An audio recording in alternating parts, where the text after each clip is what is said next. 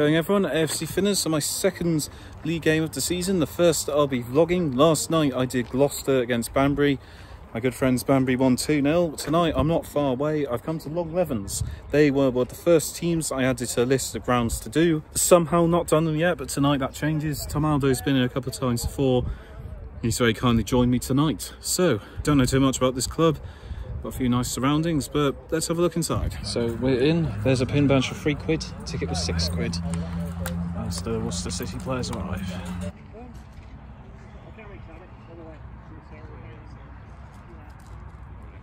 So, if, um, Michael Palmer, the co-manager of Longlevens, has kindly joined us for an interview. Michael, tell us a little bit about the club. Uh, well, this is my third season now. Um, yeah, really starting to improve all, all over, on and off the pitch. Um, quite exciting as the um, the playoffs have come in this season, and it's a real uh, no real chance for us uh, as a club to really have a go. And um, I think we have a belief, you know, this season that you know we stick together, we keep to our principles, and we really believe that we could have a go this season. And um, for ground fellow groundhoppers such as myself, what can I expect to find when they come to Long Longlevens? Everybody's a really friendly. I said, but people have been here uh, for a very long time. I said, I'm the only three years, but you look at uh, Craig was my co-manager who's been here I think since the age of 17. Uh, Courtney, you know, the chairman. Um, everybody's been here for yeah, a good you know 10 plus years. Uh, it's a real family orientated place to be fair. So yeah, um, yeah, really welcoming club. And I've said I've been here for three years and I can't speak highly enough of the place. It's, um, yeah, it's a real joy to be here. And, and finally, in researching your club, it's clear that you put a lot of resources into developing young talent. You've got a lot of youth teams. What are your aims for developing the club using your academy resources? Well, be, we got to use what we have, to be fair. Well, especially in this league, if you look, uh, you know, good on them. They have a lot of resources. They got the money power to, you know, to bring people in. Uh, where we're the other way. We got to look, you know, in-house. We got to look to what we can bring through. And I think that's why a lot of young players do come here because they get their opportunity to, to go and play. And then if we can help push on, um, so be we've done our job. But if we can keep them, develop them like we have done, um, I think, like I said, we got in our team, I think seven players at the age of 21, uh, which is like brilliant. Then we got two uh, 18 year olds. So yeah, we really are pushing in the right direction. And this season, uh, credit, we got a really good 18s coming through. Um, so we'll be looking at that, you know, to try Christmas trying to try and bring through three or four more. Brilliant. Michael Palmer, thank you for joining us. Thank you Good luck tonight. Quite cool. See the game from here as well. Um, yeah. Tuffley's kit. Oh, sorry.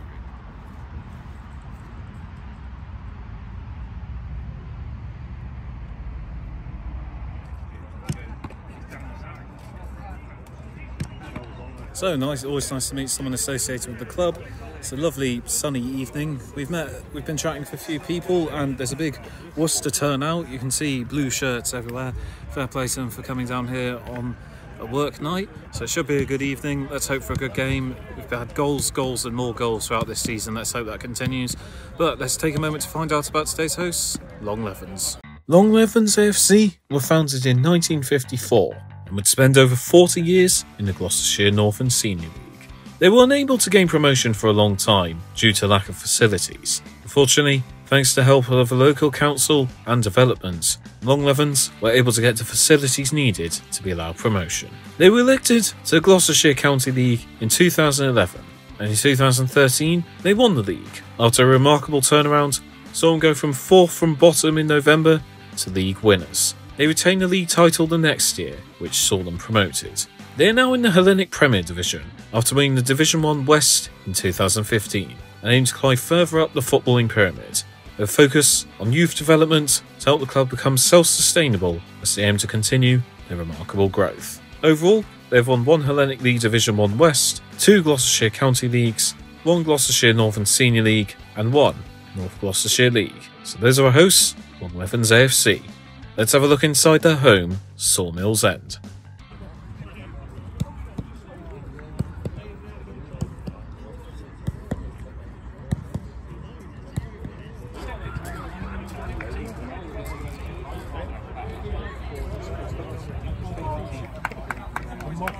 saying.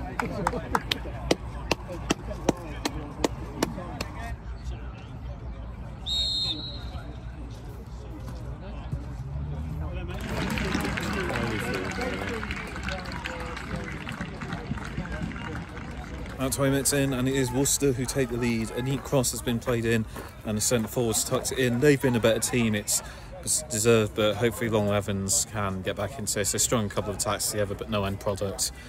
Still no nil nils. On nil. What number? Worcester double their lead, neatly curled in. The goals galore continue. 2 0. Half time, Worcester comfortably 2 0 ahead. It's been well deserved. Disappointing performance from the referee. Getting a bit physical, could get a lot more tense in the second half, but we'll have to see. Half time 2 0. Tom, any thoughts? All right. It's the best we're going to do, isn't it? Half time 2 0. Must be very good, didn't I? Well, they're getting the mark for this. That's an excellent choice of chocolate bar. One of those underrated ones. It's only 70p. Fair play. What he's just said. Oh my god. 49, Dave. Very nice. 10 to 10 then. Yeah.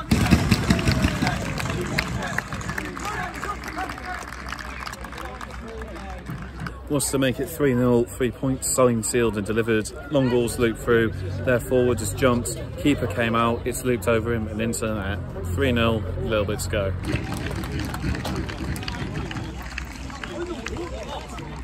So a rather feisty game ends with three points to the away team. Congratulations to Worcester City. Best of luck for the rest of the season. Thank you Longlevens for hosting. It's been a fun evening. I think it is time for us to rate the experience. Tom, anything to say? Hello everyone. It's the end of the video, I meant to say goodbye, but Bye everyone. take two. Let's rate. So, we will start off with welcome and fair play. I think they knocked it out of the park with this one. I'm going to give them an 8 out of 10. The moment I got to Turnstile, the man working there expressed great gratitude that I got a pin badge. And, you know, he said to me, Oh, the bar's over there. If you want to get hot food, it's over there. If you want to get chocolate bar, it's over there. It sounds like a little thing, but just, you know, the sheer effort that he put into to making sure I was happy and felt at home was really appreciated.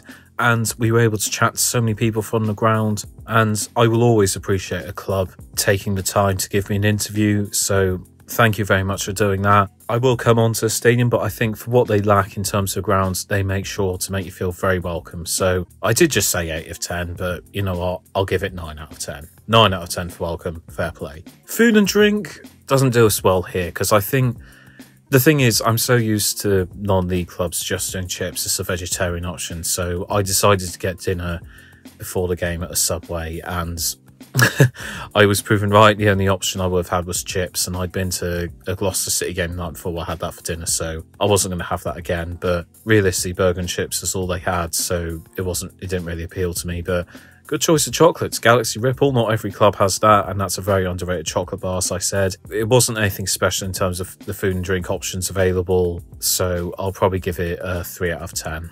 Atmosphere, I think yeah, unfortunately, didn't do too well in this one. I think in terms of like an atmosphere, in terms of the vibe, it was like it did a good job. You felt very comfortable and friendly. It wasn't anything toxic, but there wasn't anything like chanting or even the basic like go ons or anything like that. That's no insult to the club. I don't come here expecting you know it to be like Anfield or anything, but I have to be fair and assess it out of ten. So I'll give the atmosphere two out of ten. In terms of stadium, I think there probably could be a little bit of work done. I think they have done a good job given the resources they had. I think the club bar, considering it was a Portakabin, was really cool.